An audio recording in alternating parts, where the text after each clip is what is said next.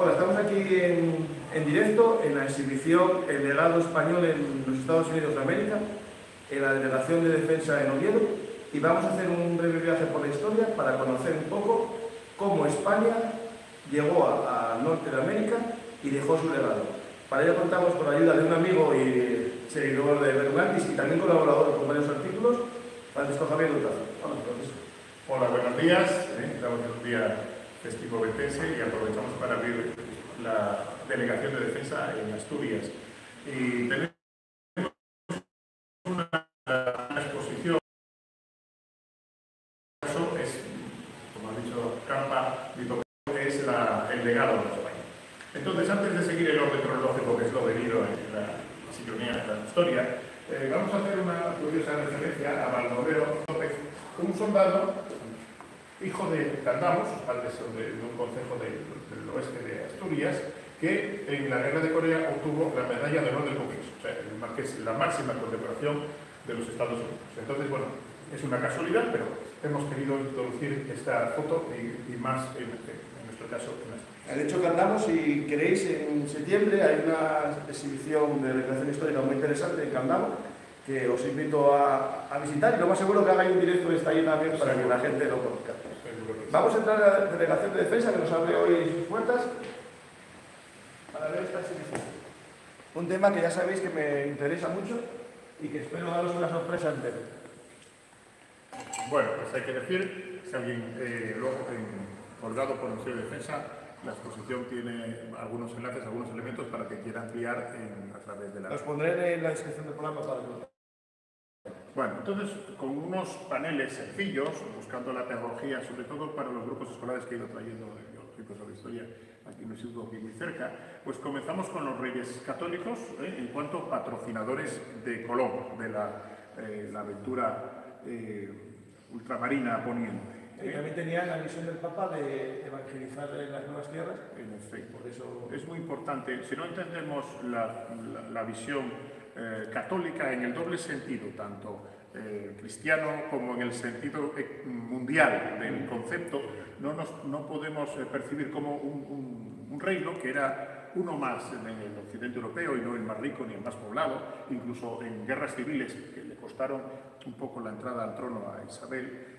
eh, pasa a ser una potencia mundial, de una especie de primera globalización, pero con esa función espiritual que no excluye las naturales ambiciones materiales que cualquier conquistador, si es algo vivo de, todo ello, pues que menos que la gloria o el oro de, que ha soñado cualquier segundón, ¿eh? hidalgo de... De hecho hay una frase que sale en varios libros que es fuimos a América por Dios, por el rey y por el oro.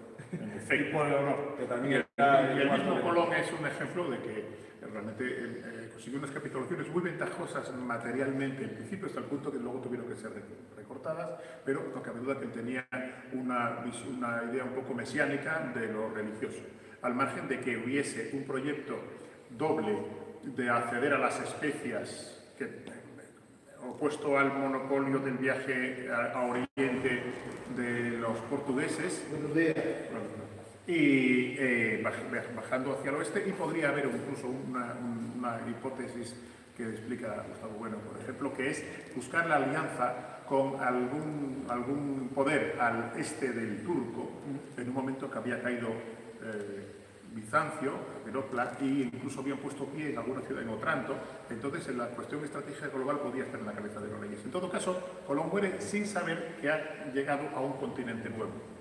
Por lo último que escribe, y nos ha quedado el término indios, indias, porque él estaba pensando que estaba en el extremo oriente. de hecho, es interesante, por ejemplo, incluso el nombre de Cristóbal Colón eh, viene de ese mesiánico, porque viene de Cristoforus, el que lleva a Jesús, y el Colón es la paloma que viene del Espíritu Santo. Entonces él adoptó ese, nuevo nombre con ese carácter mesiánico. Muy bien. Eh, entonces, en esa pequeña selección de personajes vinculados a la conquista, a la conquista del norte, ¿eh? Norteamérica, recordemos, pues tenemos algunos representantes, por ejemplo tenemos a Ponce de León, ¿eh? primero que llegó a la Florida. Es interesante la cuestión de los nombres. Estos eh, antecesores eh, nuestros en alguna medida, en un sentido técnico probablemente quienes descienden de ellos son quienes viven allí, aunque a veces reniegan de, y no nosotros que, descendemos de los que se quedaron en la península. Bueno, pues José pone eh, el, día de Pascua Florida, pues va a dar nombre a la Florida. Sucesivamente las fiestas, las referencias eh, cercanas, eh, se pueden ir rastreando en, el, cómo se bautizan los diversos lugares. un caso de hecho, casi todas las ciudades de Norteamérica, las que tienen nombre español, proceden del día en el que se levantó. Por ejemplo, San Agustín, eh, el día de San Agustín. Eh, la de Nuevo México, eh, ¿cómo se llamaba la primera? No, no me acuerdo. Santa Fe, sí, era por el día justo de, de, Y no, había unas otras ciudades que se me acaba de ir el nombre que también tiene que ver. No, estamos hablando de un nombre muchos. Después cuando me venga ver. Pero casi todas las ciudades de, Estados Unidos con un nombre de santo, es justo el santo del día que se fundó. El santo que se fundó, salvo, salvo los jesuitas que tenían el nombre O las misiones, a veces es la advocación, sobre todo cuando las ciudades que recordamos todos en, California, de hecho mis alumnos en su, aunque no esté muy avanzado, se saben los equipos de baloncesto, pues a lo mejor se sacan Los Ángeles. Bueno, pues otra curiosidad, al margen de que los grabados de los personajes del pasado pueden o no coincidir, o sea, imaginarios, un detalle curioso es que los hombres del tiempo de Carlos V em, visten todo lo más colorido que pueden, o son representados. Incluso no es raro que aparezca el color rojo y amarillo, eh, que, era, estaba ya asociado de algún modo a los guardias, estaban bastante presentes. Ese punto de moda eh, va a cambiar y en la época de Felipe II eh, tenemos, llega eh, a través del palo de Campeche, que es el tinte negro, pasa a ser lo elegante y lo más correcto, y el patrón Habsburgo, por, que va a durar lo que dure la casera Austria en España, el negro. de, hecho, de hecho hay gente que piensa que es un color eh, así, estricto, austero, pero realmente era el color más caro de todo. De hecho, en las leyes de lujo se llegó a prohibir el negro Campeche porque era demasiado caro. Efectivamente, no, no responde a que se quedara viudo, que los reyes se quedaron viudos la mar de veces, puesto que a la mortalidad de parto era el equivalente a la mortalidad por la guerra de los, de los Bueno, pues aquí tenemos otro personaje, eh, cabeza de vaca, que es una persona interesantísima en cuanto a su periplo personal. No se trata de una gran operación de conquista, en, casi ningún caso lo es, pero estamos hablando de una aventura de un naufragio, eh, va con, el, junto con Estebanillo el, el, negro, pero al final llega eh, a, a el viaje que es de Va muriendo, va muriendo y yo creo que por ser español no tiene una película de, igual como pasa con, que yo sepa, con el Cano y tantos otros grandes personajes. Pero el periplo recorre todo el sur de Estados Unidos, se calculan unos 8.000 kilómetros, y él sobrevive en gran medida porque tenía ciertos conocimientos de, medicina adquiridos en la campaña de Italia. Entonces era capaz de quitar el dolor de muelas con más eficacia que el hechicero de la tribu e incluso yo pasé una flecha a un jefe. Si hubiera muerto el jefe, lo hubieran pasado rápidamente por, por la piedra, pero sin embargo sobrevivió y no lo trataba muy bien como hombre de poderosa medicina. O sea que supera, en general, en la historia, supera la ficción. Eso es lo que nos queda. El viaje que hace forma parte de la expedición de Pánfilo y fracasa y él se queda esclavizado en una isla, en la zona de, los, bueno, la zona de Pensacola, por ahí. Y logra escapar para que nos hagamos un recorrido todo a Texas o México y llega a la parte occidental de México. Y ahí está en contacto en la zona de Sinaloa, por ahí, con tropas de Nueva España. Para que vean que no fue solo el accidente, más tarde tendrá parte en, la, en el extremo sur del continente. Otra vez de hecho, descubre las, cataratas de Iguazú.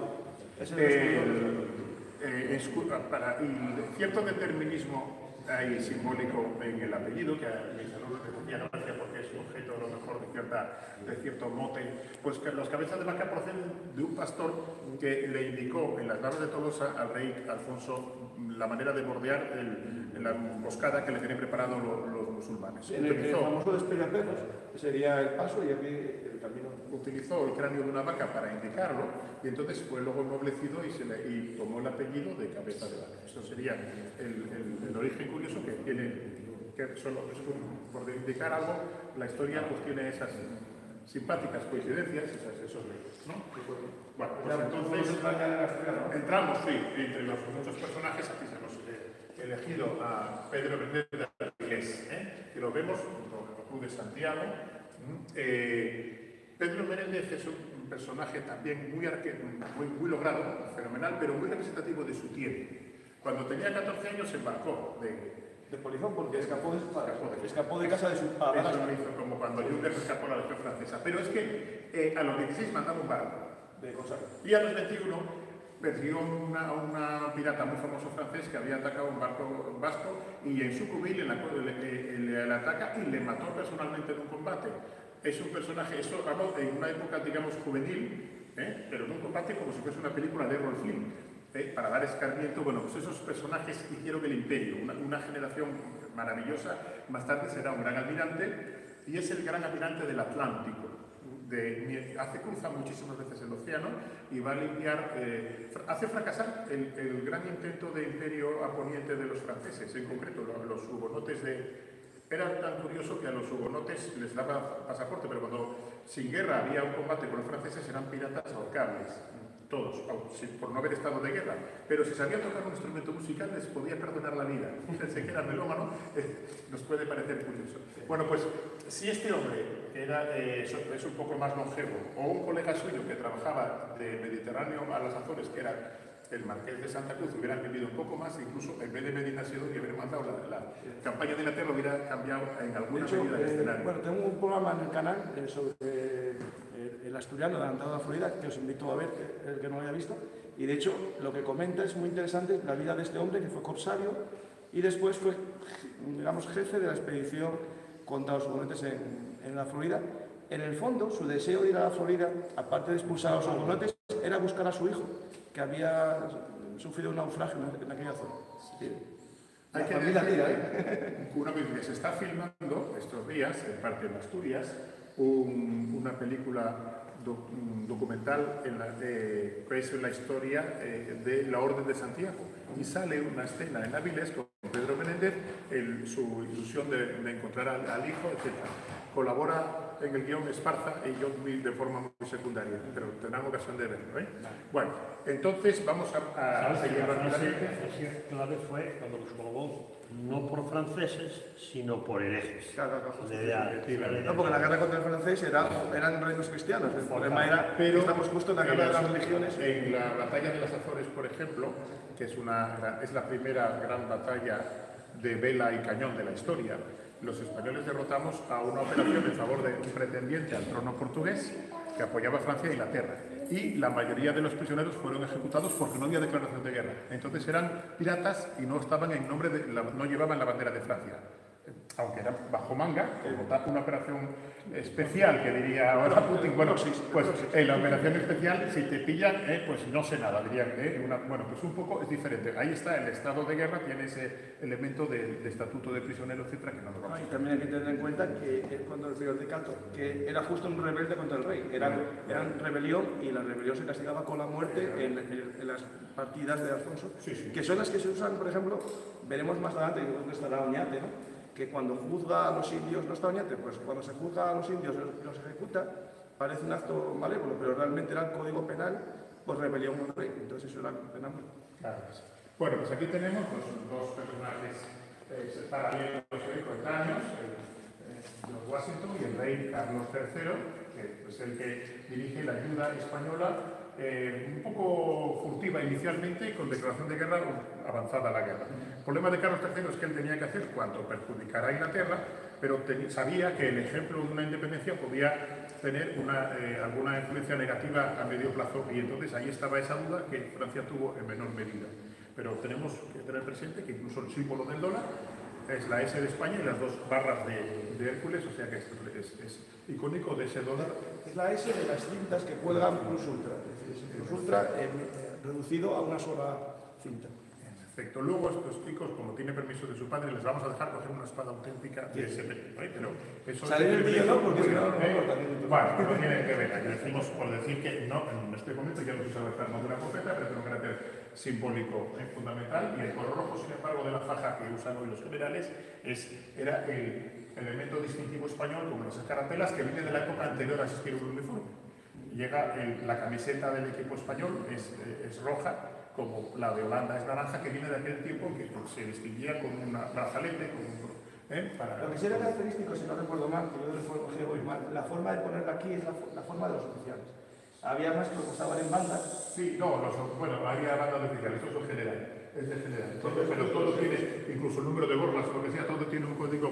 El mundo militar tiene muchos mm, elementos que tuvieron un sentido funcional inicialmente y luego se conservan por razones simbólicas o a veces estéticas ¿eh? y algunas veces que hemos perdido el sentido. ¿eh? Por ejemplo, veremos cómo este simbolito de la, de la infantería marina tiene su origen en los granaderos para encender un fósforo y tirar una granada. Luego, pues así sucesivamente todos los cordones tienen un sentido. Pero no podemos reparar, no tenemos tiempo mucho y tenemos que, que. Estas figuras físicamente están, son de ordenador y están en esos vídeos que recomiendo que están colgados por el Ministerio de Defensa. ¿Eh? Tenemos a Montiano, que fue el gobernador de la Florida y federal y es contemporáneo ¿eh? a el, el, Francisco Menéndez, el rey, ¿eh? un hombre que ha nacido en Guinea, vendido como esclavo por los ingleses en en Nueva Inglaterra y se escapa a zona española. El rey, desde Carlos II, daba la libertad a los negros que se escapaban de, los, de, sus, de los, ingleses y los holandeses. Y, eh, desde el fuerte Mose va a ayudar a los españoles y va a ser un, tipo, además, valiente y ejemplar y llega a ser capitán. Hay que pensar que hay que ponerse en el siglo XX para encontrar un oficial eh, negro en el ejército americano. ¿eh? pues en este caso, aunque había unas milicias no podemos plantear anatómicamente un concepto de igualdad, es fundamental, pero es un hecho de, relevante en el cual España pues, está en derechos, en algún aspecto, pero siempre está un poco por... es más humano su, su planteamiento. El hecho de querer cristianizar a, los indígenas negros que reduce la distancia enorme de dominante y dominado que ha habido en la historia siempre. De hecho, tengo la suerte, bueno, el privilegio de el único cómic que existe que yo sepa del mundo sobre Formosa, yo soy el que hizo el final explicando un poco la ciudad de San Agustín. Lo recomiendo, es un cómic de Cascaborra Ediciones, por lo tanto el que quiera verlo, pues tiene. de hecho hay un vídeo en YouTube hablando de Formosa. Bueno, todo el mundo eh, sabe, más o menos le suena, por la sobrepresencia cultural norteamericana, el Día de Acción de Gracias, que como fiesta familiar, Estados Unidos puede estar por encima de la Navidad. Pero lo que no sabe la gente es que su, origen no está en Nueva Inglaterra, en los peregrinos de Mayflower, que serán los eh, puritanos de, de, de, cerca, sino que está en la Florida unos años antes de mano española. ¿eh? El pavo, que es una, además es típico de América y de Asia y no lo viene Europa Occidental, pues pasa a ser un convite en el cual se ha superado el invierno y entonces por, con los indios amigos se hace una fiesta y se hace una Pero es curioso, solamente tiene la importancia que tiene, pero casi siempre los anglosajones han ido por detrás en llegadas, navegaciones y sin embargo han vencido en, lo que llamaríamos la contienda del relato.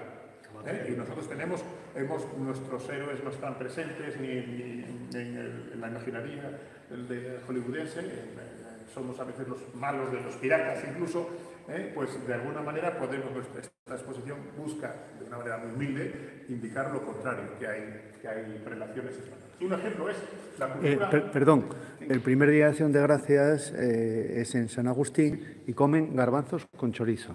Sí, es que a ver, lo que se llama acción de gracias es la oración que se hace agradeciendo a Dios el, algo. Y eh, en 1598 es verdad que eh, al paso del Río Grande se hace esa oración, pero San Agustín fue un poco antes, justo antes de la batalla. Y, nos, hemos, nos hemos pasado, eh, veis la trama de, la, la, trama de La Habana, ¿no? No hay ciudades en el mundo mejor construidas que las españolas de América. Si, si, llegamos a tener que decir, cuando te dicen lo del oro, dije, como tengáis que pagarnos las ciudades que os dejamos. ¿eh? y los monasterios que yo. Eh, mira, un tema interesante sobre la construcción de las ciudades eh, americanas, como se hicieron de planta nueva, se hizo al modelo griego de la ciudad perfecta y se hace hipodámica, pero lo más interesante es que las hipodámicas romanas tiraban de unas direcciones norte y sur, como, sino un poco a veces inclinadas, buscando el viento. Bueno, esto y que el centro está la catedral, si es ciudad episcopal siempre, que es el equivalente al pretorio de un campamento romano, pero hay una proyección romana global, ¿eh? que, porque es que estamos hablando de, un imperio de integración, no de pura explotación, un imperio generador en categorías. De hecho, lo que sería el centro urbano de América que diferencia a España es el concepto de la plaza de armas, eh, que tiene eh, la, la, iglesia, ya sea de misión o iglesia tal, el edificio de la guardia y esa plaza servía para que las milicias urbanas de cada ciudad de México o Nueva España tuviesen su entrenamiento los domingos. Y por eso se llama Plaza de Armas. Cuando viajáis por México, todo eso se sigue llamando Plaza de Armas la mayor parte de ellas. Pues es un dato que incluso las ordenanzas de Felipe III de urbanización y evangelización establecían cómo tenían que ser estas ciudades. Bueno, tenemos, eh, me interesa mucho porque la historia de nuestro, imaginario popular es, el cine y el cine prácticamente es el cine del oeste. Aquí tenemos presente un compañero que dedica una tesis doctoral a una película de John Ford. Nada, bueno, entonces eso será motivo de otro de un programa específico. Entonces, todo, la, tanto la charrería mexicana como el rodeo del suroeste americano las botas de montar, la silla más grande que, eh, dirigida al, con un pomo dirigido al manejo del ganado, eh, todo ello, el, sombrero eh, de ala ancha, automáticamente es un buen truco. Si la copa es más alta que el ala, esos son puritanos del norte, pero si el ala es más grande, nos recordamos el zorro, por todo eso, el coyote, está en el dragón de fuera, pero representa un poco la proyección. El mismo caballo, el caballo de toda América, procede de los caballos españoles. En América había habido caballos en épocas prehistóricas, pero, habían desaparecido y los indios van a ir cogiendo alguno por las buenas o por las malas que se les escapa. De hecho, la palabra Mustang ¿eh? viene de mostrenco, que es el caballo, como el esclavo cimarrón y el caballo mostrenco. Bueno, de hecho hay caballo cimarrón también. Sí, pues, pues todos, lo que no da un coche da una marca de pantalón vaquero, el pantalón vaquero, por cierto, es de minero, no es de para montar, no es de eh, precisamente el camino español, el camino real, es el que avanza y todos conocemos la ruta de Santa Fe, que pues, siempre. Cuando alguien llega a algún sitio del oeste americano, incluso de esos monumentales valles que les gustaba de, John Ford, eh, puede encontrar escrito que estuvo Juan Doñate dos siglos antes. Sistemáticamente habían pasado los españoles y habían dejado eh, lo bueno, lo malo y lo regular de toda, pero el ganado eh, no podemos imaginar la geografía americana sin el ganado, ¿eh? las ovejas, los caballos y, las vacas. Todo eso son, son, los españoles los que lo van, lo que los van llevando. ¿eh? de hecho, modifican el paisaje, las cabezas de ganado llegan a modificar un poco el tipo de, de arbusto que hay, que va desapareciendo y en algunos lugares da a la pradería tejana. Esas cañadas, estamos hablando que la conquista de América en gran medida es una proyección de la reconquista española de norte a sur. Entonces, en esa dinámica, esas cañadas son un elemento decisivo. Y luego serán jalonadas por alguna pequeña misión que tenía, pues a lo mejor dos o cuatro hombres. Estamos hablando, esto no solo de un ejército, sino de una presencia como esos puestos de Guardia de los pueblos.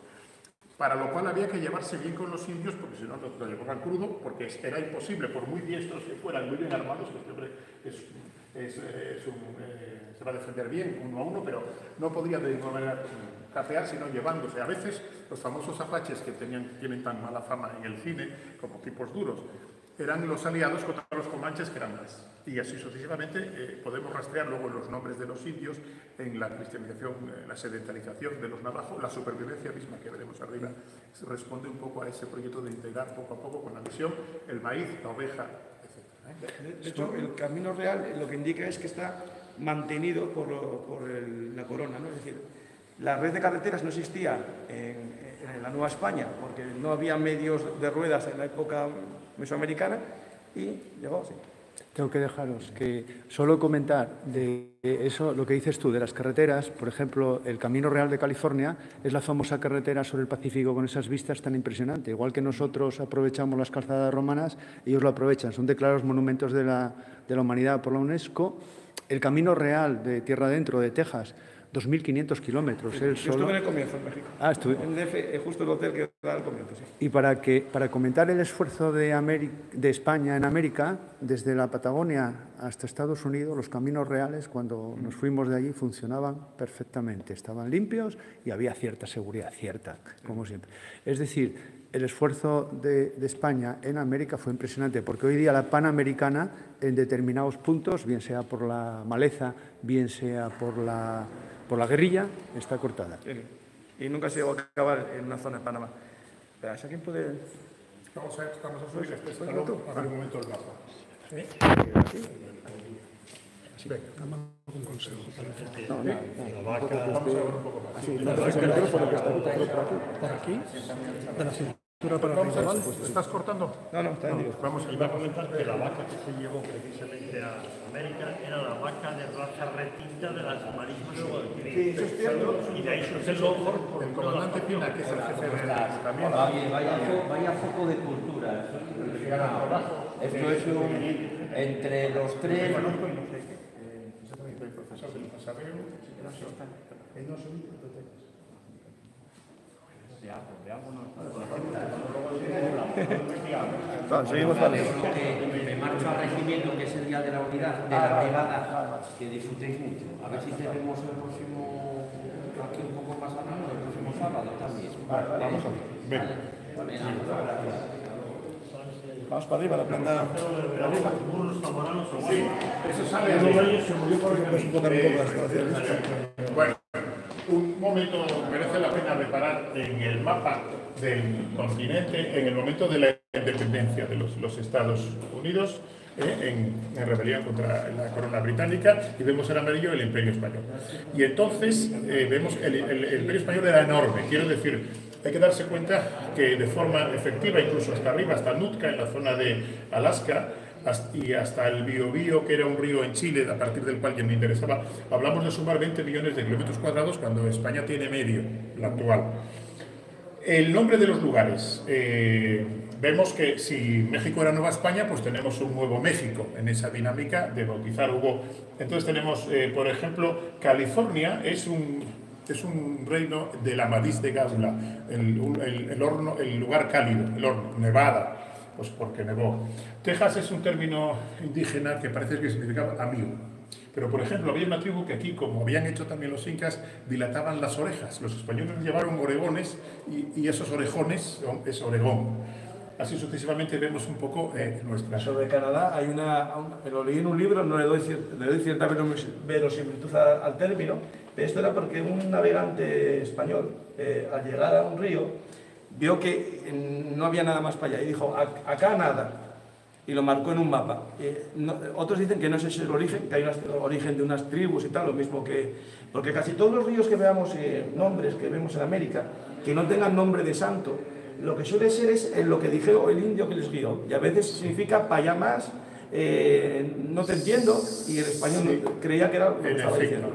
el, el- el no lo sé es el famoso canguro, por ejemplo, en una lengua de, una- de muchos aborígenes. Pero vamos, eh, si nos ocupáramos de las localidades, encontraríamos San Diego, el- son las misiones de los indios, de- sobre los indios de los frailes como Junípero Serra. Eh, bueno, De hecho, mira, un poco, eh, es un tema que me apasiona y tendré una sorpresa dentro un poco sobre el tema. Aquí tenemos las tres, eh, se habla de, de- de la triada de colonización. ¿no? La primera fue el Camino Real de Tierra Adentro, que llevó hasta Nuevo México. Después hubo eh, el Camino de los Jesuitas por Sinaloa y Sonora, que sería esta, esta evolución, con todo por aquí misiones. Padre que, que después el Padre Quino llevaría posteriormente a California, otra serie, pero aquí sería la primera vía Sinaloa y, y después la última, ya con la llegada de los franceses a América y la creación de Luisiana, España intenta poblar, o pue- puebla Texas, y ahí se produce la tercera vía de colonización. Es decir, básicamente la primera sí que es en busca, digamos, de unas nuevas tierras ricas, la segunda se produce esta, sobre todo, intento de embarco de colonización de California para proteger el regreso del, del galeón de Manila, porque regresaba por aquí, y para evitar que los piratas eh, ingleses cogiesen zonas de ataque, se intentó, no se logró. Y después ya vienen las colonizaciones de los misioneros. Esta de aquí y esta de aquí, de Texas, fue, no, no, no fue misionera, sino real, pero había misiones. Es decir, las misiones siempre iban, iban justo, sí. Y bueno, un poco, después ver que aquí este, este mapa ya se nota que es de la época de la unificación, porque Florida Digamos, ya están las dos, porque es justo al acabar la guerra de independencia que nos dieron las dos. eso sí cambió de mano muchas veces, pero vemos el Caribe como una especie de lago español pequeño, no era un cierto modo los océanos y entonces La Habana como puerto central, con algunas excepciones insulares en manos de los piratas, eh, pero son una, son una excepción. ¿eh? De ellos estuvo patrocinado, el famoso Barba Negra, que nos suena, pues estaba patrocinado por el gobernador inglés de- de- del norte, de eh, que era socio y se conserva libros contables de las comisiones de las autoridades para entender cómo para los españoles no es una, una diferencia grande entre el inglés y el pirata. Pero bueno, hay que, hay que recordar, no sé si lo viste, un programa que tengo con Agustín Ramón Rodríguez, que es uno de los mayores expertos navales, sobre también el corsario español. Es decir, También. nosotros tenemos nuestros corsarios también, pero no tantos como nosotros. Y aparte, muy, muy eficaz, pero siempre contra el enemigo de la El enemigo corona. de la. No exactamente pirata, que es la diferencia. El corsario eh, sir- sirve una bandera, aunque es una... Toda la conquista en realidad es una operación de corso terrestre. Sí, Esto es. eso. Las conquistas españolas no son unidades mm, como los ejércitos de Napoleón. o- El ejército español tenía bastante con de- luchar en Europa y con el turno. Eran operaciones de empresa privada en la que cada uno de los que iban era como un accionista, cobraba en proporción, se llevaba un quinto real y un quinto el jefe y tres quintos los demás, ah, según llevase arcabuz o llevase caballo, de pero tal y como una aventura de una empresa. había, un contrato, había un contrato en el que se acordaba cómo se iba a repartir las ganancias y también lo que se tenía que hacer. Bueno, pues vamos a subir hasta, hasta arriba para economizar nuestro tiempo y, y ver la parte más interesante. También merece la pena aquí una actividad muy valiosa. Nos podemos ocupar la que están los tercios abajo del siglo XX arriba, que es un poco resumen de la historia. Hablemos un poco de delegación. ¿Quieres dar la página completa?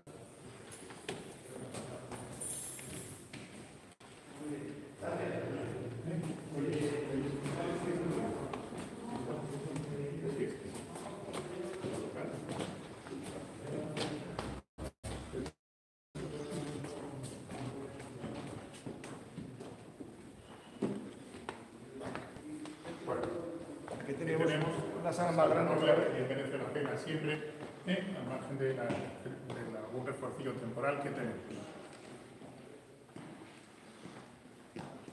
Bueno, vamos a ver muy rápidamente.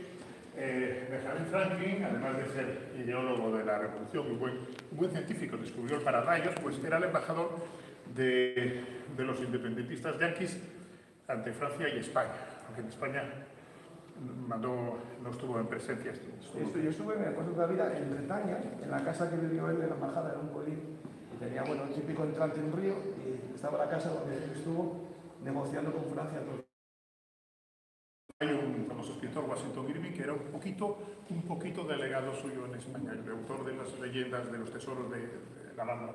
Bueno, Es muy interesante una cosa que, si no recuerdo mal, autor de las aventuras del capitán Cuneville, José Luis Hawking. el castellano el español. Hablamos de, de, de, la cultura albénica, decía. Sí. sí, sí, incluso personajes como Daniel Boone, que vamos, tenían que conocer el español o propio, porque si no, pues era, era, era una lengua. Daniel Boone fue síndico. Incluso al la corona española cuando huyó de los territorios que los propios británicos le, dieron, pero después Estados Unidos no le reconoció. Ah. Los Estados Unidos al principio se portó muy mal con Daniel Boone, y él quería haber hecho un pacto documentos en torno al famoso Álamo, etcétera, vemos que era el español, incluso con el que hablaban a veces los yanquis y los, y los indios, eh, hablaban el idioma, la lengua franca en esa región era. Eh, concretamente en la zona del famoso Álamo est- había muchos canarios que procedían de la evacuación por un volcán que releva. El único superviviente del Álamo legítimo, no, no traidor como era, seguida del. Bueno, una cosa curiosa, Sí, pero no fue una evacuación contemporánea. Tiene usted razón, pero era más antigua. es, eh, llevaban más tiempo. Como un no siglo. nacido, no Sí. nacido. Pero, eh, por supuesto, estoy hablando, eso fue, eh, no, está hablando de unos 50 años antes, una cosa así. Eh, Pero la mayoría de estos de Canarias fueron de Nueva Orleans. no, esto, es parte alta de la región Orleans. concreta de A Béjar. Claro, hay que tener en cuenta una cosa muy importante. Es decir, el problema de España en cuanto a América fue que no teníamos demografía y no teníamos gente tampoco que mandar y no que casi nada. Entonces había que darles unas buenas condiciones. Por ejemplo, eh, Oñate, a los que fueron a, Nuevo México, les concedía el título de Hidalgo a todos. Y Hidalgo suponía ya no pagar impuestos, había una serie de prebendas. Y eh, en la época de los Borbones intentó también repoblar la zona al norte del Río Grande, como esta zona de- del Álamo, dando tierras a, a gente que, que en España no tenía. Comentar que Franklin actuó de embajador en España y que la realidad de los Borbones, siempre entendiendo desde la Casa Borbona francesa que España tenía que ser, digamos, el Borbón subordinado a los intereses de Francia, y puesto que evidentemente Carlos III no quería levantar susceptibilidades e intentaba retrasar todo lo posible la declaración oficial de guerra, lo que se hizo fue, con capital español de la familia Gardoqui e hijos, una empresa de Bilbao, armar al ejército, digamos, estadounidense, pero saliendo de barcos franceses una vez desbloqueados por la presión británica. Esto me Salieron suena a de la barco- actualidad. salieron de Toulon y se, embar- y se mandaron 30.000 mosquetes españoles modelo 1752-1757. y Todavía no se fabricaban aquí en, en, en Trubia, porque la fábrica de Trubia es de 1794-97. Y se mandaron 30.000 bayonetas, 250.000 obuses, carronadas, es decir, cureñas de, de, de- de los afustes de los cañones de los barcos y 5.000 tiendas de campaña. El propio Washington reconoce en cartas privadas que si no hubiese sido por la ayuda española que bloqueó el Mississippi para que no se pudieran abastecer los ingleses, no habrían podido tener las primeras victorias y no habría podido resistir en Valley Forge George Washington. Después, evidentemente, películas como la de Jackson, Revolución, o películas como El Patriota, patrocinada por Mel Gibson, cuentan la historia como a ellos les conviene. España no aparece y solo Francia es la nación a la que parece que hay que agradecerle algo. Aparecemos como una ruina abandonada, Como una, como una misión. como una misión abandonada ya ni se sabe de cuándo. Sí, so- somos un recuerdo, borrados de la historia. Sea, Hollywood ha hecho una laminación total. Hace poco días acabas de leer un libro que es La presencia de la leyenda negra en el cine de Hollywood. Claro, es absoluto. Los personajes que hacía Rolfín eran siempre contra los piratas españoles, donde era justamente al revés. Pero te has, adelantado al, al de la. Ya me has pisado todo, pues oye, no, no me enfado. De todos modos, curiosidades, como nos falta, tenemos catedrales también en Oviedo, que de una sola torre que rompe el principio de simetría. No es casualidad, es un dinero que en el siglo XVIII marchó a- al oeste de América y ayudar a las independencias contra los ingleses y entonces pues a lo mejor no, no redundó. Vale, es un ejemplo, pero no es el único caso ¿eh? dentro de ese esfuerzo. ¿Y cómo lo agradecieron? Pues sí, luego nos, nos se volvió. Bueno, aquí tenemos al tercer presidente América se escribe en español. Bueno, eso es uno de tantos, que veremos algún otro en los- Hay un libro que recomiendo, por cierto, de Monseñor Luis Arias, ese es la presencia del legado español en la formación de los Estados Unidos.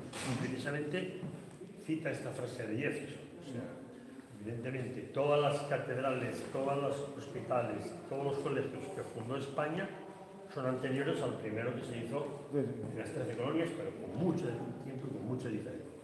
Bueno, eh, tenemos otro personaje decisivo, seguramente, junto eh, con el almirante Córdoba. Bernardo de Galvez era un general malagueño. eh, su mando muy joven responde también a un hecho que era sobrino del ministro de, en ese momento, ministro de, Madrid, pero eh, fue un general muy brillante y muy agresivo además, con los recursos limitados que tenía en Florida, eh, hizo mucho daño y derrotó a los ingleses que estaban en Georgia, a veces con efectivos inferiores, conquistaban las plazas a los ingleses. Entonces, en ese aspecto, bien merece, eh, y fue así reconocido, eh, ciudadano, por cierto, se le ha hecho ciudadano de Estados Unidos de honor en este siglo XXI, fuera de fechas, en una época en la que se están tirando abajo estatuas de personajes, pues no deja de ser curioso, es una excepción, junto con Junípero Serra, sí es mencionado alguna vez, más en Estados Unidos que en España. Bueno, aquí tenemos una escena concretamente de ataques a los fuertes ingleses en esa campaña de Galvez. ¿eh? Vemos unos soldados eh, de ese tiempo que predominaba el color eh, crudo blanco, el básico, aunque haya muchas excepciones, y una bandera a espada que tenemos en grande. aprovechamos para mencionar, aunque yo creo que nuestros oyentes lo sabrán todos, que la bandera mm, del reino era la- las aspas de Borgoña, que es una variante de la Cruz de San Andrés. ¿eh? a veces con el escudo real de un modo u otro. Y entonces esta bandera que se conserva eh, de forma secundaria, unidades, la región, los tercios, etc., eh, mm, con ser muy bonita, sobre todo si hay bordados con el escudo real, el fondo blanco hace que sea menos visible en la niebla de los barcos y en la pólvora de, la- de las, de los antiguos banderas.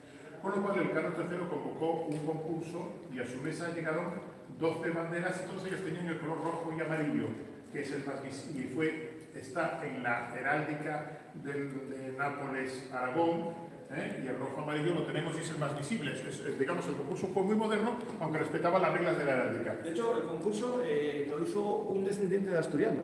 Sí, hijo, hijo de Candamo, igual que el héroe que hemos visto abajo. Eh, el la actual Casa de Cultura de Candamo es de la casa de los Valdés Bazán. O sea, era un cargo, no sé si era el equivalente al ministro de Marina, pero su padre procedía de ahí. Que ella había nacido ya en Burgos, que Burgos durante mucho tiempo fue la capital de la Marina desde la Edad Media. Bueno, Sí, sí, y la banda doble responde, ya que uso los colores de Aragón, voy a poner el escudo, aunque fuese solo de Castilla, porque es más económico, pero eso obligó a que la banda central sea doble. Eso también ayuda. La Marina Mercante tuvo cinco, cinco rayas, y no tres. No sé si aunque el término sea un poquito coloquial. Y hasta Isabel II no es la bandera de la nación toda, sino solo de la Que flota. de hecho era el escudo simplificado solo con Castilla y León. Bueno, pues entonces tenemos Y de hecho, el que lo quiera ver ahí en el blog, la historia de la bandera de España, digo, para que lo vea. Sí, sí, explícanos, los nacionales evidentemente tenían que recibir órdenes de donde estaba la sede del poder político, que era La Habana. Y entonces, para que vino una gran tormenta, que centrar todo su un retraso en el intento de la toma de móvil y entonces dijo, bueno, si no me acompañáis, iré yo solo. Y de hecho, pues lo Con su barco que era, para tierra. Hay, hablando ya fuera del escenario, hay una escena a la inversa en Filipinas de Núñez, en la cual es el ejército el que se arrocha y es la marina sola la que ataca un fuerte. Es, es curioso, pero hay un paralelismo a la inversa. Para, bueno, pero no, eh, es importante en todas las operaciones que haya que no haya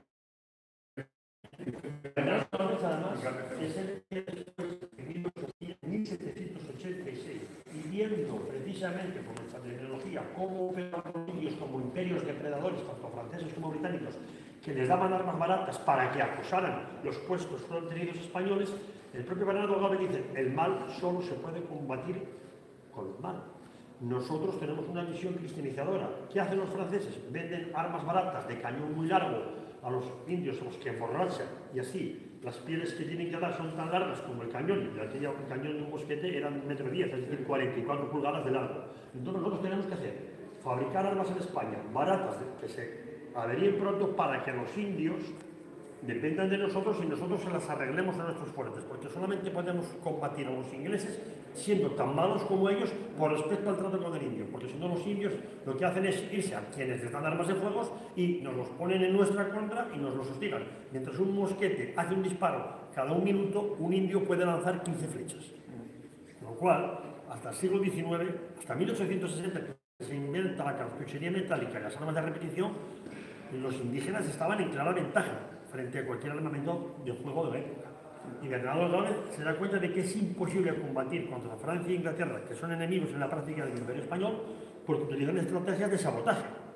Una de ellas es dar mantas infectadas a los indios con viruela, que eso lo hicieron los ingleses en la guerra de Pontiac, en 1768, y armar. Los franceses fueron los primeros, no, los holandeses ya son los primeros que trafican con armas en 1640 y tantos, cuando en Nueva York es Nueva Ámsterdam, con los indios.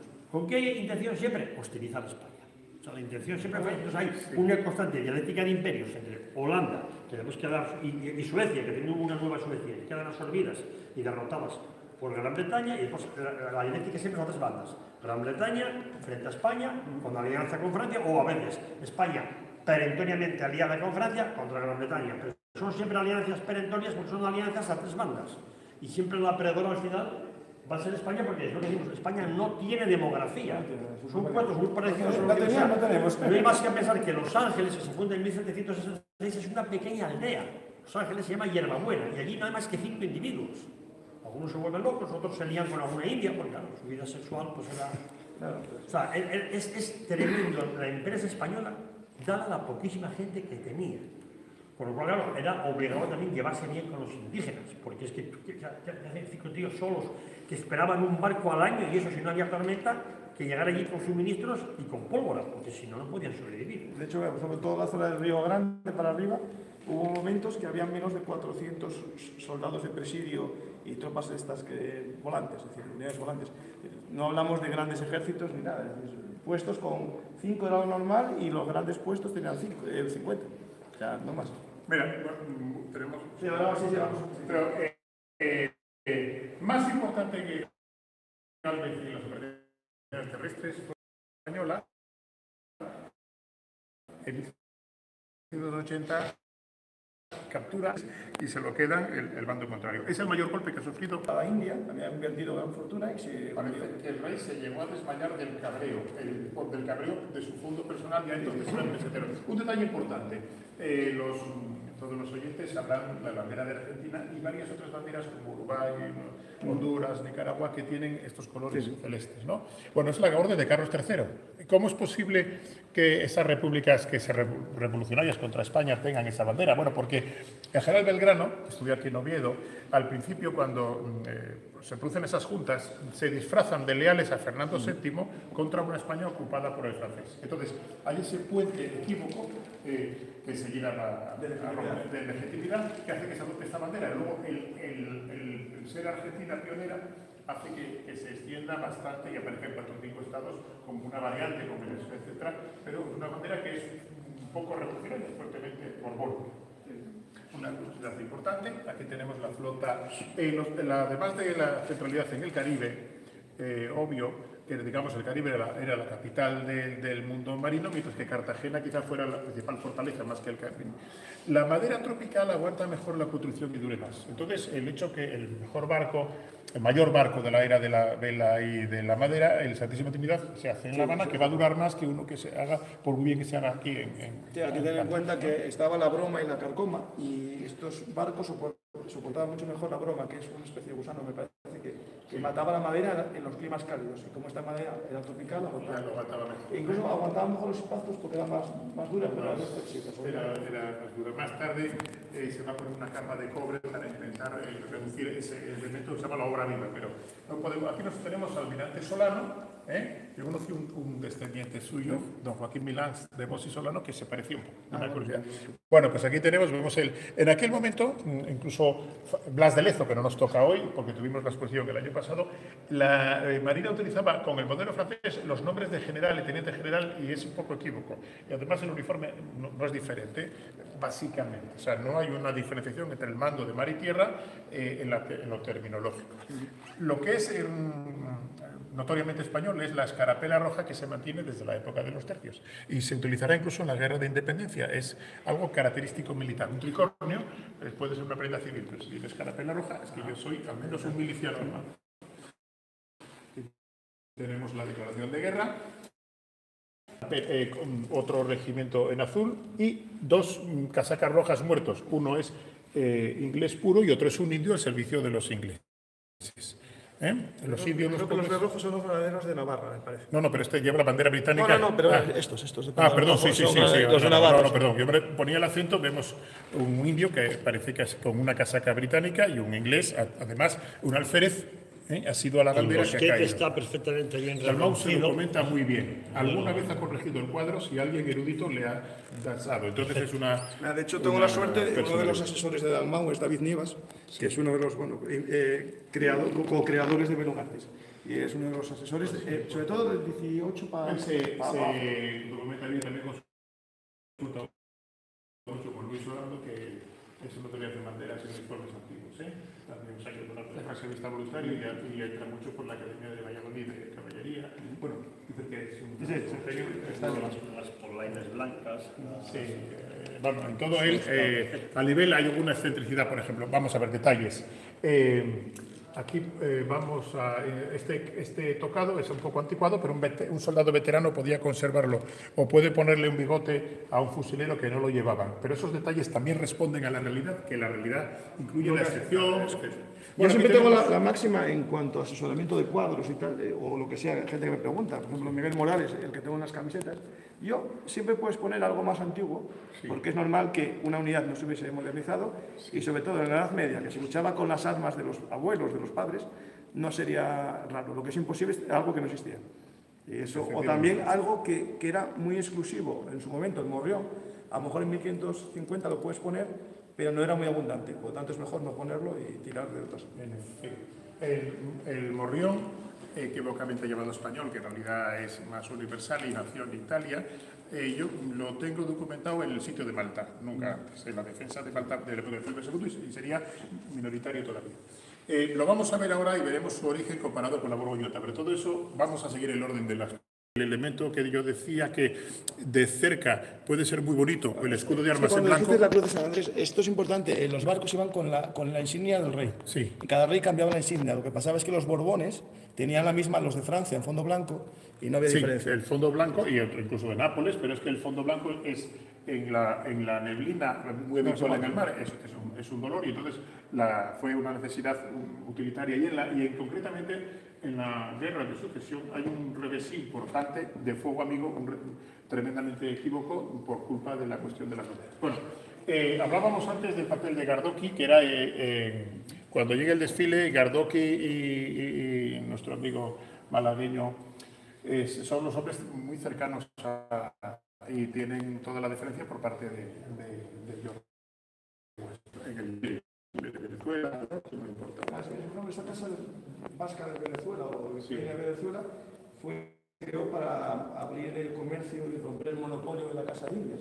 Resulta que la misma Incluso luego ya el, el, el- la, la zona más fuerte que hemos tenido, en la zona de Lucca, la compañía catalana, la compañía catalana.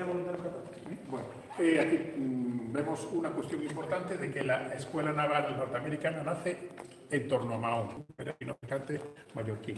Es una curiosidad, incluso la medicina británica vemos que nace en. Este es un conquistador del siglo XVI, que va más, más armado de hierro, lleva una borgoñota, que es una evolución de, de los hierros medievales. De hecho, la borgoñota puede tener una pieza que le cubra la cara heredera de la celada, pero a medida que avanza la conquista, zonas cálidas y húmedas, todo el hierro que lleves encima es una llamada al óxido. ¿eh? Entonces vemos la espada de lazo, que es como corresponde en este periodo todavía. ¿no? Y vemos que esta lanza tiene, es de bambú, es un, es un poco más tropical, menos si fuese en Europa sería de fresno, de tejo, más duro. ¿eh? ¿De acuerdo? El que tenga fiador del ataque es de caballería, por ejemplo. Es decir, no, no es una pica, sino una lanza en el- eh, y una rodela que era capaz de parar una de las balas que veremos más tarde. Bueno, pues mm, eh, hablábamos antes de cómo las botas de tacón y el, eh, el estribo más, con esas espuelas un poco más notorias, todo eso tiene ese origen español, como la practicidad irá funcionando y acabarían llevando, habría unas colatas de, de algodón prensado y eh, Esas, en, la- en los programas que tenemos sobre la conquista de México, explicamos cómo la evolución de los cuayagupili, eh, que son de tela con agua y sal, por el tema de, bueno, de la cocción sobre todo el calor. Claro, Y paraban bastante bien las flechas. Eh, para que no, no tenían, punta, no tenían punta de metal y entonces no eran tan Para agresivas como las de. Bueno, aquí ocurre una cosa. Nosotros no teníamos, en toda Asturias no encontré ningún arcabuz. ¿eh? Una vez que este año vino un, un grupo que disparó un arcabuz aquí de la está, hay que reconocerlo y así está escrito. Y tenemos pues una más, eh, mucho más cómoda que también podría mm, parar un local, ¿eh? Las aspas eh, de Borgoña, los, los brazaletes rojos y tal, eran importantes en la contienda contra otros europeos, no tienen más necesidad en la contienda contra indígenas. Y aparece el morrión, ¿eh? que vemos que es un casco simplificado, aunque la cresta defiende de un golpe vertical. Este levantamiento es, ayuda para disparar la ballesta y el arcabuz. Es- eh, responde a ese uso de, de infantería, mientras que la borgoñota se va a subir más en Es caballo. importante que este De arriba abajo, la mayoría de los golpes eh, que no busquen el cuello son de arriba abajo. Entonces tiene una utilidad. Bueno, pues vemos que los cuernos van a ser usados de polvoreras, eh, luego veremos alguna más, pero hay que especificar perfectamente que el arma es posterior y que no teníamos ni un soldado de la época del tricornio, la casaca blanca, y no teníamos un arcabuz para él, y entonces hemos... Es el modelo 1757. es- eso es, el que tú has citado. ¿eh? Carlos Salvador, ¿qué va a ser? No, no, Giles, no Giles, que se-. ¿eh? Bueno, Esta es una reproducción hecha recientemente aquí en la casa Mendy en Eibar, en los años eh, 80, y es un arma todavía muy buscada en Estados Unidos, ¿eh? porque esta es una reproducción muy bien hecha del modelo español. Eh, esta pistola es una pistola eh, civil de- con aire oriental que disparó en su momento, está inutilizada del todo, ¿eh? entonces eh, es, está rota y, y- y está, y- y- y conservada rota queriendo para usos de este orden. De todos modos, hay que tener presente que las, la- las armas que no podían ser recargadas en acción, ni a caballo, ni durante una acción de, cu- de cubierta, pues pasaban a tener un uso contendiente tanto las culatas de los, de los mosquetes como no apuntes a nadie de verdad, aunque sea de juguete, ¿eh? Aunque las, las culatas y, y lo- eh, una máscara que podemos hacer culatas. Bueno, eso Los de- no- estos no de los- YouTube no- no se pueden censurar, pero está el papá que nos permite. Sí, sí. Sí, venga, luego la ponemos otra vez. Bueno, mencionamos el asunto de, de William Swain, el médico, el primer médico científico eh, que aprende en, en- en la escuela de Menorca eh, con los españoles. Y fue muy relevante, está reconocido, eh, digamos, en la tradición naval americana. Y aquí tenemos a, el- ya, digamos, con el uniforme. Eh, eh, bueno, pues hijo de marino mercante y en una comunicación que se mantiene. Por ejemplo, recordemos que el general Yankee que gana la batalla de Gettysburg había nacido en Cádiz. No es que fuese, sería ¿no? llamarlo andaluz, su padre hacía, había esa comunicación y estaban de negocios en España. Lincoln es el presidente de, esa, de la victoria contra el sur. Bueno, tenemos aquí a un personaje seleccionado de un periodo son anglosajones puros, hombres del tiempo de la conquista todavía del oeste, un poco periodista, Loomis va, va a hacer un trabajo sobre los indígenas. El Y se llama ambiente, el- Los conquistadores españoles pues, del siglo XVI. Lo, lo tengo yo. él, antes, cuando se dirige al oeste, no está pensando en ese título, pero advierte que los indios sobreviven justo donde están los, donde está el pasado español, en una medida que no ocurre donde está el pasado anglosajón. Y entonces eh, hace esa deducción lógica que es totalmente opuesto al discurso de la leyenda negra. ¿Cómo es posible que haya muchos más, los zonas que eran un poco más secas y quizá menos fértiles y con menos caza? Claro, no tenían, los españoles tenían una voluntad de integración y no de exterminio que llegaba. Hablábamos antes de la guerra bi- biológica, pero incluso matar a los, bisontes, porque era su principal alimento de forma deportiva, es algo que, no, no estaba en la mentalidad siquiera de quienes querían ganarlos para sí, o quieras someterte a un enemigo en la dinámica de la reconquista, en la dinámica de Roma, tú los quieres ganar para para No, eh, sobre todo porque la misión que tenían los reyes de España era evangelizar, es decir, era conseguir las almas bueno, que, que no habían conocido a Dios. Es decir, el tratamiento que tenían era ese, era evangelizar y por tanto, no aunque sí que había muertes y a, y- y a veces matanzas, no era el objetivo, como en otros pueblos que era limpiar. Aquí tenemos otro... No, de hecho, es una cosa interesante. Loomis, no, este hombre, tuvo la- en su época la mayor biblioteca de tema español de América con más de 50.000 libros. Es interesante que, que este es un conocedor. Es, pero es un converso, no partió, no tenía ni la... Y bueno, el caso de Bolton, que es más historiador que ya un hombre aventurero de frontera, pues también responde a ese hecho. Entonces su, su título responde a esto. Ah, las de hecho, situaciones. ¿eh? De algún modo, entonces todos nos suena el Cañón Coronado, Cañón del Colorado, ya hablábamos Cárdenas, de ejemplos. Bueno, pues de algún modo, continuamente. Incluso yo recuerdo, pues eso, Juan de Oñate se adelantó mucho, muchas otras, y en alguna, alguna pequeño guiño, en alguna película de este se reconoce. Pero es que nosotros hacemos una memoria de sus títulos, sin querer se les escapa. Tenemos Río Bravo, Río Lobo, El Dorado, El Pecos, todos ellos son de una fonética eh, inequívoca. ¿eh? Bueno, una curiosidad de Sotos, otro de los conquistadores españoles, que hizo un recorrido eh, asombroso. Bueno, pues, Que fue el primero en cruzar el Mississippi.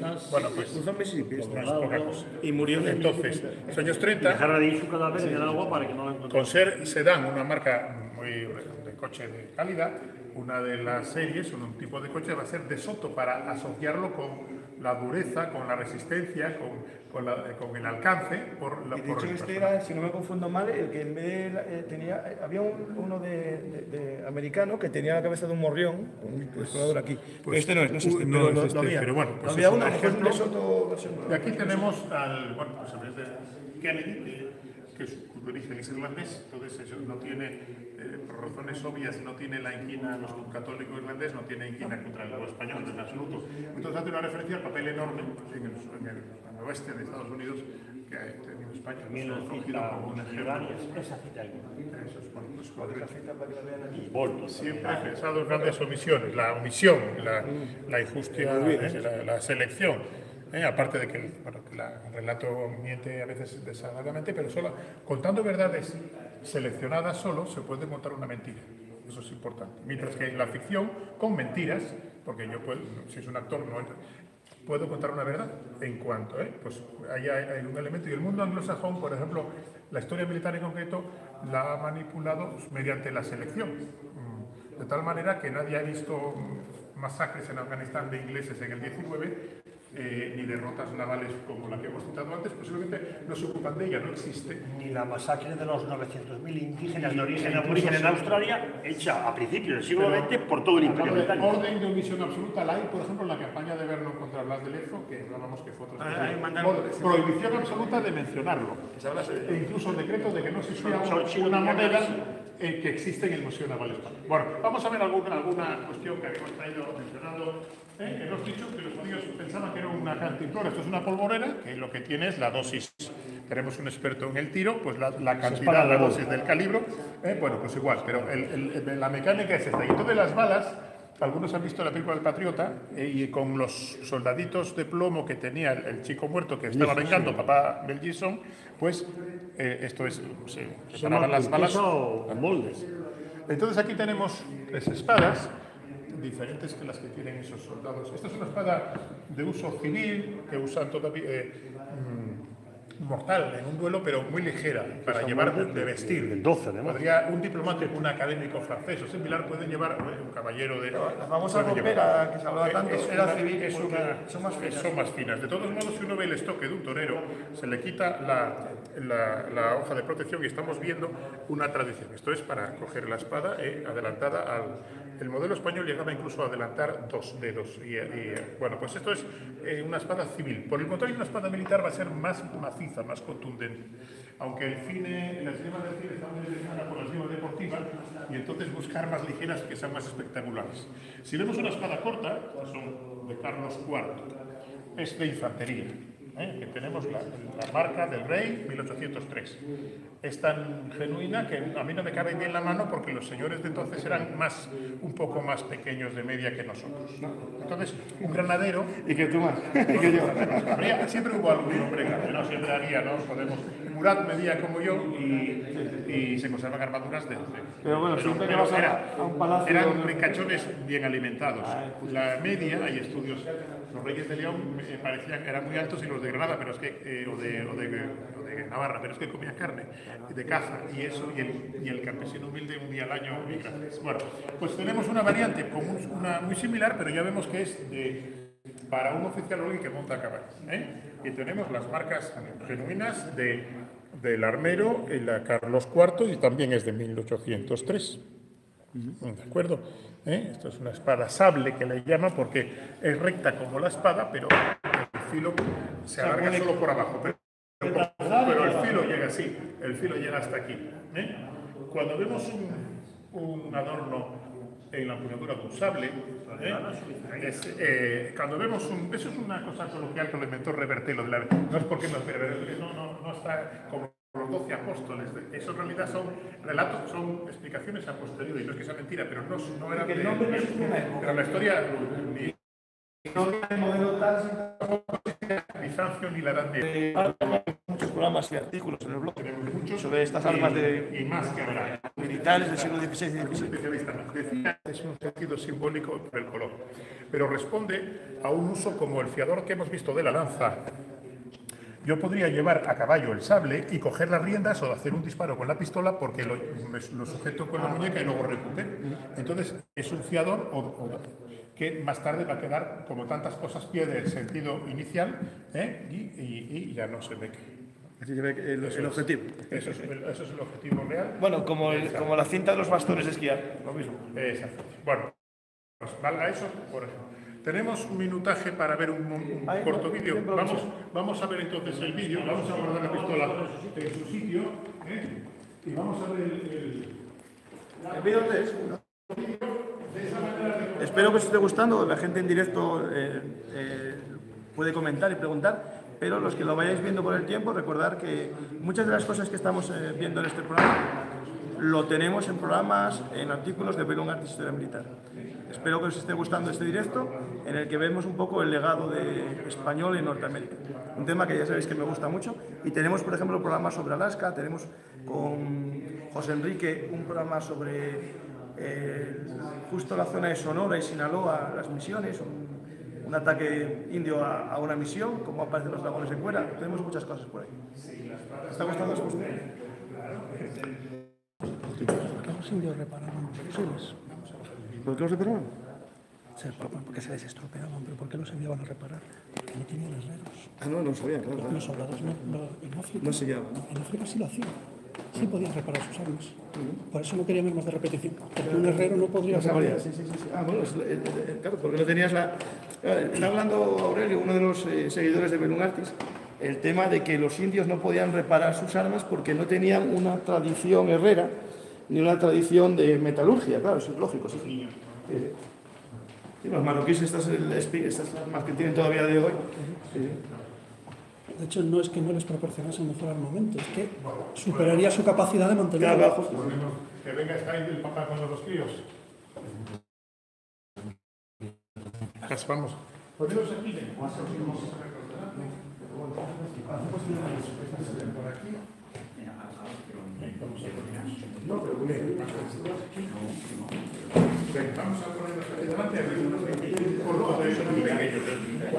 a por aquí por delante.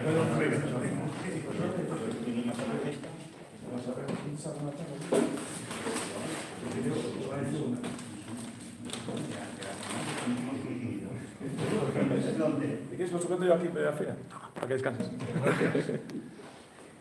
Bueno, simplemente os vamos a poner un vídeo para que podáis ver. Todos estos vídeos están en YouTube, a través de los códigos QR podéis entrar ahí en ellos. Hay varios y os vamos a poner el último que han hecho, que está muy, logrado, es un estilo así de videojuegos y tal, para llegar un poquito a, los jóvenes, ¿no? La historia. Y vamos a ver el, el vídeo del capitán Francisco Menéndez, que igual es el más desconocido, que da para hacer una película de Hollywood, vamos, pero impecable. A ver si alguien se anima.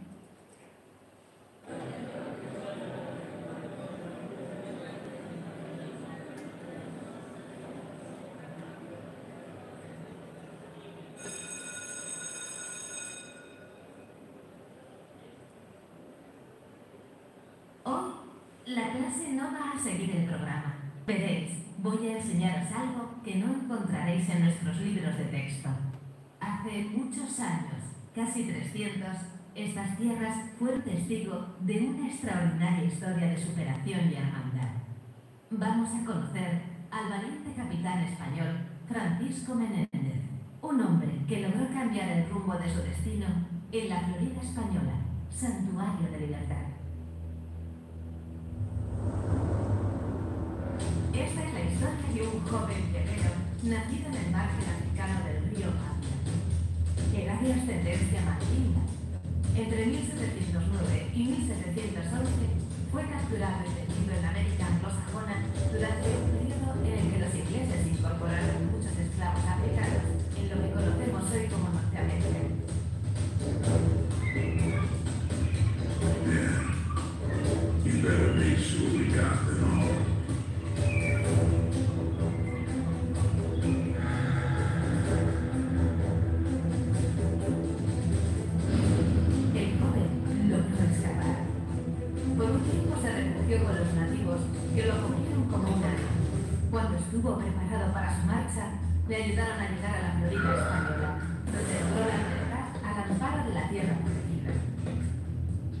Territorios españoles eran un santuario que daba protección a los esclavos que lograban huir de las plantaciones inglesas, concediéndoles la carta de libertad.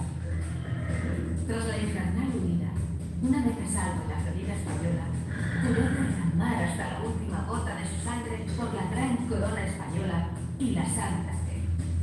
Y se bautizó con el nombre de Francisco Menéndez, entrando a servir en las milicias territoriales como uno de los más fieros enemigos de los ingleses.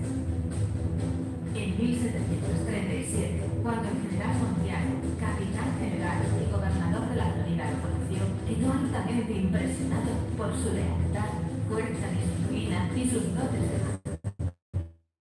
Era el jefe de la milicia y lo ascendió a capitán.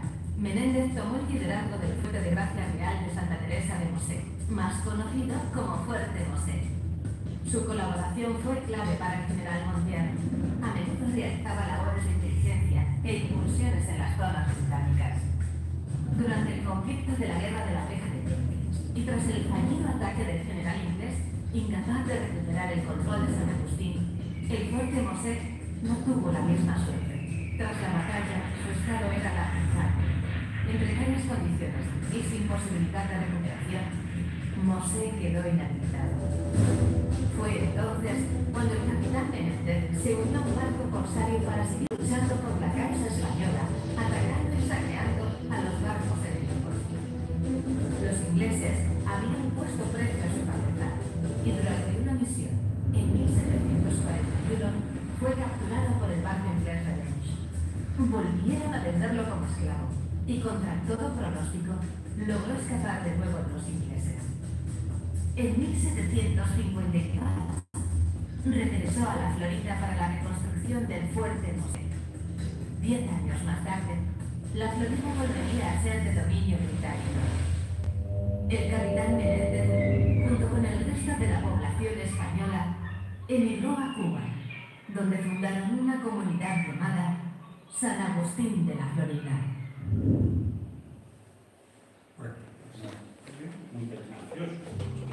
Muy bien. Pues, ven Francisco, aquí nos despedimos. Sí, sí. Un día tenemos que hacer una visita a la exposición de armas que tenemos. Aquí. Sí, sí. si os sujetas ahí un poco. Pues eh, gracias a Francisco, bueno, puedo decir tu cargo, ¿no? Claro, sí, Pues presidente, ¿no? sí, sí, sí. presidente de ARES, la Asociación de Reservistas del Ejército Español, y también, bueno, OBTN, eh, también puedo decir amigo de Berunarquis y, co- y colaborador, que gracias a él eh, hizo de guía en esta visita a la exposición, que seguirá abierta un tiempo. Eh, hasta el 21 de junio, pero mm, tenemos que indicar que aquí en la Dirección de Defensa tenemos una importantísima colección de armas, con algún ejemplar que es único en el mundo, porque es arquetipo de un número cero que a lo mejor no salió en serie a dotar unidades y que vamos a hacer un reportaje específico en otra ocasión. Y si alguien tiene la suerte de estar en Oviedo un jueves y no trabaja, en los jueves a media mañana es posible visitarlo. Vale, tengo que ver yo en la asociación que se si no Pero, pero nosotros lo haríamos, podríamos hacer un sábado eh, específicamente. Pues eh, espero que os haya gustado este viaje por la historia, en directo, en la exposición de Delegación de Defensa en Asturias, que espero que llegue a mucha gente, tanto como la que hice hace poco del Cabo Noval, del acuartamiento del Regimiento Astur- eh, Príncipe, en el que hicimos una, hice una exposición un poco de todos los medios blindados, armas que tenía la unidad, y llegó a mucha gente. Espero que este programa llegue a mucha gente y sobre todo a los amigos de Hispanoamérica y también de Estados Unidos, que sé que gente nos sigue, dejar los comentarios. Espero que os haya gustado este pequeño viaje al legado común entre América y España, que nos une y nos separa el océano, ¿no? más allá del océano plus ultra, y estamos juntos pese a que a veces nos quieran separar. Eh, muchas gracias a todos y espero os haya gustado el programa, deis a me gusta y compartáis. Muchas gracias y hasta la próxima historia hablada, en este caso, un viaje. Pedro. Entonces, ¿para qué jueves?